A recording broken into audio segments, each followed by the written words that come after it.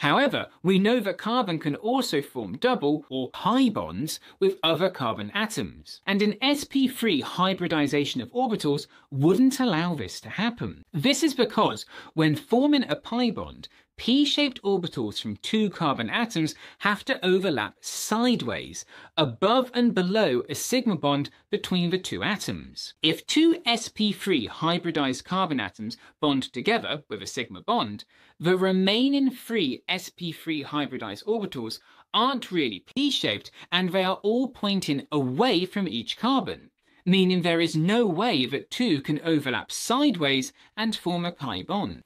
In order to form a pi bond then, each carbon atom has to have a half-filled p orbital that isn't hybridized. For this to be the case, only three of the four outer orbitals of the carbon atoms can hybridize.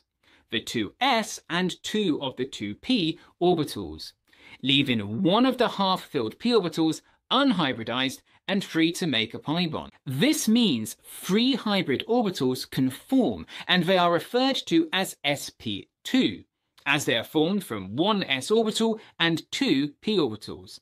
sp2. Now, as a sigma bond forms between the two sp2 hybrid orbitals from two different carbon atoms, the unhybridized half-filled p orbitals on each atom can overlap sideways with each other, forming a pi bond. Due to the electrons in the p orbitals repelling the electrons in the sp2 hybrid orbitals, the sp2 hybrid orbitals all end up in the same plane essentially flat. The sp2 orbitals also repel each other, meaning they end up equally far apart, giving bond angles of approximately 120 degrees and a trigonal planar arrangement.